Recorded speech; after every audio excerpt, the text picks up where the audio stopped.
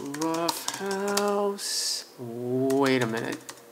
Obviously, they have their first album, Straight from the Soul. What the hell, man? Craig, another one, man. This time, Rough House Survivor, Straight from the Soul. I don't get it.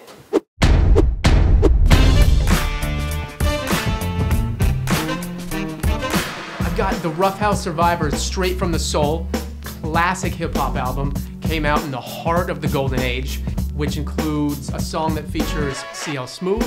It includes a track with Grand Puba. It includes a track with Sadat X. Clearly a classic hip hop lineup. It has a song called Check the Backpack. Hey yo, Bird, I need a rhyme. Come check my Hey yo. Jay, I need this rhyme. Come check my Hey yo, backpack. Bird, I need a rhyme. Which was the first single, which might have been the foundation of backpacker culture, because I know Grand Puba was wearing a backpack in 1992. It's really interesting. It makes this album extremely important. In addition, it was produced entirely by Tony Dofat, who went on to be a part of the Hitmen, who produced everything from Mary J. Blige to Queen Latifah, Method Man, the list goes on and on. This is a really important record with a classic sound.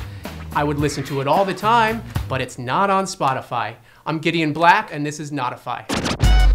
Stupid fly.